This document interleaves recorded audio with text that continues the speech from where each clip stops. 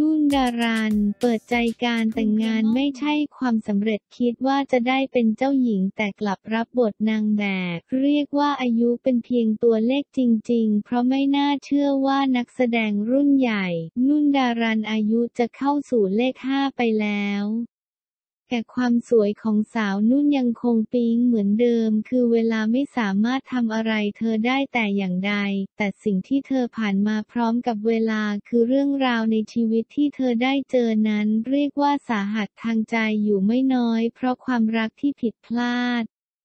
และการมองข้ามคนดีๆ ที่อยู่ข้างๆตัวเองมาตลอดไปทำให้นักแสดงคนเก่งต้องเจอกับสิ่งที่เจ็บปวดที่สุดในชีวิต ซึ่งนักแสดงรุ่นใหญ่ที่มาเป็นแขกรับเชิญคนพิเศษในเวลาใหม่ของรายการคลับ Friday Show ผลิตโดย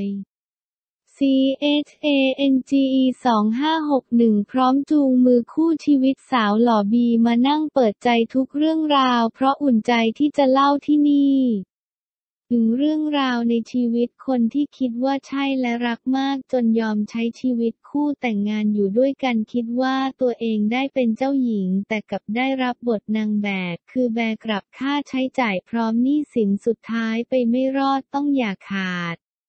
แถมชีวิตต่อมาต้องมาเจอกับโรคร้ายที่ชื่อว่ามะเร็ง วันที่แต่งงานแล้วส่งตัวผู้ใหญ่ทางเขาพูดว่าดีใจนะได้เราไปเป็นสะพ้ยเพราะว่าเราปรับตัวง่าย ปรับตัวเก่งแต่ที่ไหนได้เราต้องไปแบกรับทุกอย่าง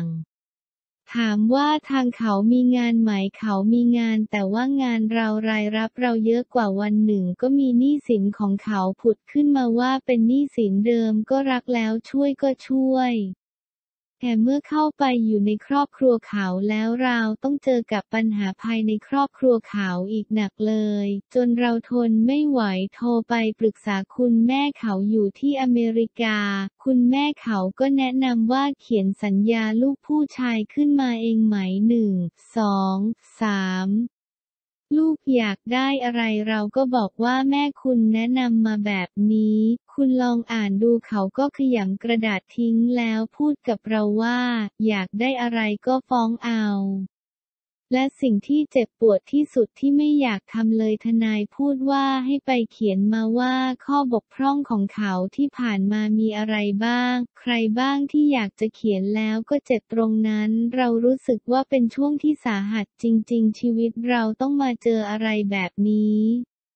และอีกสิ่งหนึ่งที่แย่แย่ในชีวิตคือรู้ว่าเป็นมะเร็งกับชีวิตความรักที่ไม่ได้โรยด้วยกลีบกุหลาบ แต่ในที่สุดนุ่นดารันก็ได้เจอรักแท้ที่อยู่ใกล้แค่เอื้อมที่กลับมองไม่เห็น พร้อมเล่าชีวิตที่คาบเกี่ยวความตายรอดหรืออยู่ คือการตัดสินใจครั้งใหญ่ของตัวเองตายก็โทษใครไม่ได้ ติดตามคลับ Friday โชว์เรื่องราวชีวิตความรักความผิดหวัง และต้องเผชิญหน้ากับความตายของนุ่นดารันได้ในวันเสาร์ที่ 30 มกราคมกับเวลาใหม่ 17.30 ถึง 19.00 น ช่องอมรินทีวี HD ช่อง 34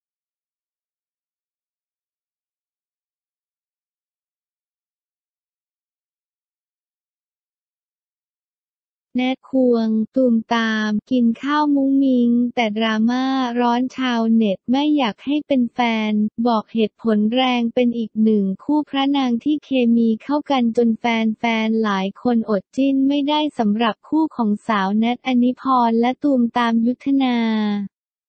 แถมล่าสุดทั้งคู่ยังมีช็อตมุ้งมิงพากันไปเลี้ยงข้าว งานนี้แฟนๆ เข้ามาแซวกันใหญ่ แต่ในความผินกลับมาดราม่าเบาๆ เมื่อมีคนเข้ามาบอกว่าไม่อยากให้ทั้งคู่เป็นแฟนกัน เกือบจะฟินอยู่แล้วสำหรับคู่ของหนุ่มตูมตาม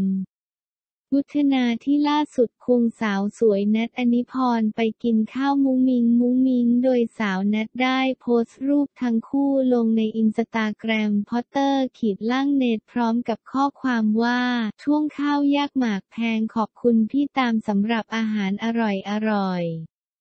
คนเลี้ยงก็น่ารักค่ะทำให้มีหลายคนเข้ามาแซวทั้งคู่กันใหญ่ อาทิอยากให้เป็นแฟนกัน น่ารักคู่นี้เชียร์ค่ะ เราว่าใช่มันต้องใช่แน่ๆห้าร้อยห้าสิบห้าวิเขานั่งคู่กันด้วยและอีกมากมาย แต่ในความฟินนี้ก็มีความดราม่าอยู่เมื่อมีคนเข้ามาแสดงความคิดเห็นไม่เชียร์คู่นี้พร้อมกับให้เหตุผลเจ็บๆว่า ไม่อยากให้เป็นแฟนกันคุณแนทหาได้ดีกว่าตูมตาม กลายเป็นจุดประเด็นทำให้มีคนเข้าไปตอบกลับคอมเมนต์ดังกล่าว อาทิแล้วพี่ตูมตามไม่ดีตรงไหนครับ ถ้าเขาสองคนชอบพอกันก็เรื่องของเขาครับอย่าเยอะ แรงงงเขาเป็นเพื่อนที่ดีต่อกันอย่าไปตัดสินใครโดยที่เรายังไม่รู้จักเขาดีพอเลยค่ะ เราเป็นเพื่อนมนุษย์ด้วยกันรักกันมีเมตตาต่อกันดีกว่าค่ะ คุณไม่มีสิทธิ์ตัดสินคนอื่นว่าเขาไม่ดี อ้าวเรามีสิทธิ์ไปตัดสินคนอื่นด้วยเหรอ จากช็อตหวานกลายเป็นดุดเดือดเลยทีเดียวแม็ก The Star โพสต์แซ่บมากฝากถึงใคร ได้เวลาใช้กรรมจำได้ดีเคยโดนดูถูกแค่ เพราะไม่ดัง รีบติดแฮชแท็กออกตัวก่อนเลยว่า เครื่องหมายสี่เหลี่ยมไม่ได้หมายถึงใครและเครื่องหมายสี่เหลี่ยมไม่ได้พูดชื่อใครสำหรับอดีตนักร้องหนุ่มจากเวทีคว้าดาว แม็กจิรายุทธคันธยศ หรือที่หลายคนคุ้นหูกันในชื่อแม็ก The Star เมื่ออยู่ดีๆ เจ้าตัวก็ลุกขึ้นมาโพสต์ข้อความแซบเวอร์ กระตุ้นต่อมเผือกผ่านทาง Instagram Story แอดแม็กซิมส์โดยข้อความดังกล่าวเป็นการเล่าถึงประสบการณ์ตรงในอดีต ที่แม็ก The Star ได้พบเจอมากับตัวเองในวันที่โดน ใครบางคนใช้คำพูดจิกกัดบนโต๊ะอาหารต่อหน้าศิลปินดาราหลายๆ คนในวงการก่อนที่จะถูกใครบางคนที่ว่านี้ unfollow Instagram ภายหลัง พร้อมกับทิ้งท้ายโพสต์ด้วยประโยคที่บอกว่า เขาไม่ชอบเราไม่รู้เพราะอะไรรู้ แต่ว่าวันนี้โชคดีมากครับ ยังจำได้ดีวันที่เราโดนจิกกัดกลางโต๊ะอาหารต่อหน้าดาราหลายๆ คนว่าเราทำไมงานน้อยไม่มีงาน ความรู้สึกตอนนั้นชาไปหมดยิ้มกลบเกลื่อนเหมือนไม่มีอะไรเกิดขึ้น เขาคงพูดเล่นแหละ เรารู้ตัวนะครับว่าเราไม่ดังงานน้อย แต่ไม่ต้องเอาเรามาขายต่อหน้าคนอื่นๆ เรามีจิตใจเราอายเป็น และมันทำให้เราไม่กล้าไปเจอพี่ๆที่เราเคารพรักอีกเลย และไม่กล้าบอกเหตุผลด้วยซ้ำเราเก็บตัวเงียบๆอยู่คนเดียวทำสิ่งที่รักต่อไปครับ แล้ววันหนึ่งเขาคนที่จิกกันเราก็ unfollow Instagram ก็ชัดเจนดีว่าเขาไม่ชอบเราไม่รู้เพราะอะไร รู้แต่ว่าวันนี้โชคดีมากครับ เครื่องหมายสี่เหลี่ยมไม่ได้หมายถึงใคร เครื่องหมายสี่เหลี่ยมไม่ได้พูดชื่อใคร เท่านั้นยังไม่พอเพราะใน Story Instagram เดียวกันแม็ก The Star ก็ยังได้เขียนข้อความสั้นๆที่กล่าวถึงผลของเวรกรรม รวมถึงความอดทนของเจ้าตัวตลอดระยะเวลากว่า 4 ปีมาโพสต์เพิ่มเติมเอาไว้ด้วยว่า มันถึงเวลาแล้วที่คุณต้องชดใช้กรรม 3-4 ปีที่ผ่านมาผมอดทนมาตลอดให้สังคมสอนคุณดีกว่า และแน่นอนว่าทั้งหมดนี้แม็กเดอะสตาร์ ไม่ได้มีการเอ่ยชื่อหรือกล่าวอ้างถึงใครแต่อย่างใด เรียกได้ว่าเป็นการโพสต์ลอยๆ ที่อ่านแล้วแซบสะเทือนกระตุ้นต่อมเผือกได้ดีจริง ๆ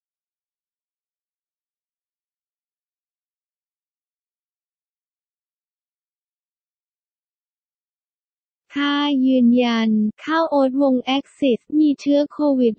-19 เปิดทำลายร่วมงานวันเกิด ดีจะมาตูม จากกรณีที่มีคนออกมาแฉว่ามีนักร้องหนุ่มบอยแบนด์ไปร่วมงานปาร์ตี้วันเกิดของ ดีเจมะตูม เตชินท์ พลอยเพชร และตรวจเจอเชื้อไวรัสโควิด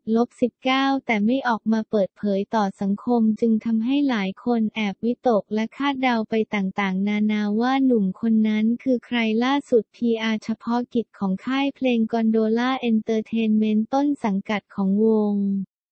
Axis Axis เจ้าของงานเพลงแค่นี้ ก็พอวิทยูได้ออกมาชี้แจงถึงเรื่องราวทั้งหมดที่เกิดขึ้น เนื่องจากห้าหนุ่มบอยแบนด์ดังกล่าวถูกจับตาว่าอาจจะใช่นักร้องบอยแบนด์วัย 23 ปี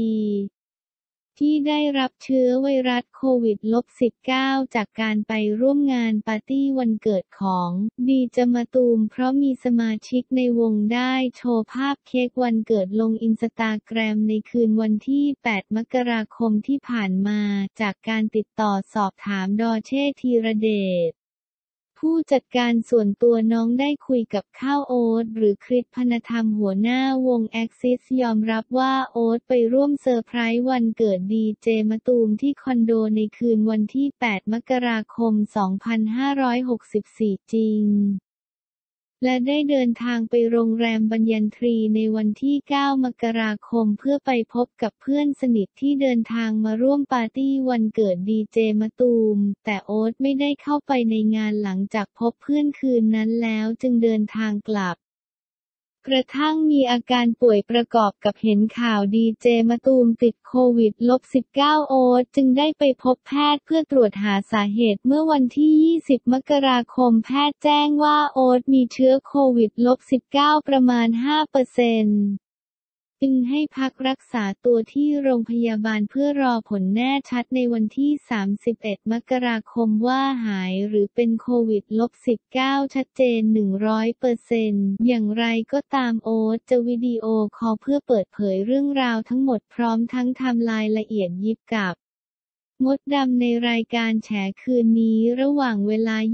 21.30 ถึง 23.00 น ทางช่อง GMM 25 พร้อมขอยืนยันว่าไม่ได้มีเจตนาปกปิดไทม์ไลน์แต่อย่างใด AXIS แจงแล้ว บัสโจเซฟแพนคอนเนกออกโรงเคลียร์หลังถูกโยงปาร์ตี้ ดีเจมะตูม หนุ่มกรรชัย ลั่นรู้ว่าใครแนะนักร้องวงบอยแบนด์ให้ข้อมูลเพื่อประโยชน์ส่วนรวม